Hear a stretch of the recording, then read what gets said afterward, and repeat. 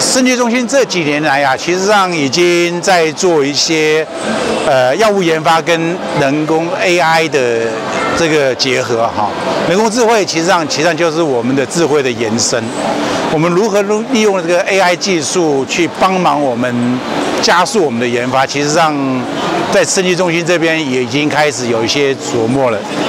呃，我们其实上从两点来看，第一个就是人工智慧需要有两个东西，第一个就是大量的资料。呃，生技中心这几年其实上已经累积了一些不包含了叫我们叫 ADME 的资料啊，所以就是说吸收啊、代谢啊、分布啊、排除这些资料，还有一个毒性资料。我们利用这个资料的话，去利用人工智慧去 train 这个 model，然后。这个 model 之后呢，就建立这个呃演算程式，在这方面并不是演算程式的建立，并不是升级的中心的专长。目前我们是透过合作，跟台大曾宇凤老师，曾老师是跨领域的专家，他同时是自工所的教授，所以我们跟老师的合作在 AI 这一块。主要是有两个方向，第一个方向就是我刚刚提到的，就是药物动力学，如何去让动物实验减少，然后先导药物的数目测试数目减少这一个方面，然后得到更有效的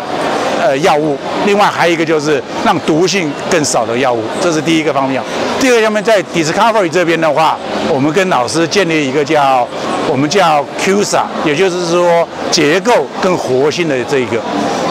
也就是说，在早期的时候，我们不需要合成大量的康庞，利用 AI 技术，我们就是 QSA 的这种 model 啊，来帮助我们去加速这个药物的选择、活性的筛检。其实上这个方面就我们有自己的平台，呃，几乎每年我们都有一个 IND 的小分子要 IND，所以我们希望能够从原来的五年变成三年，也就是说。我们现在知道，如果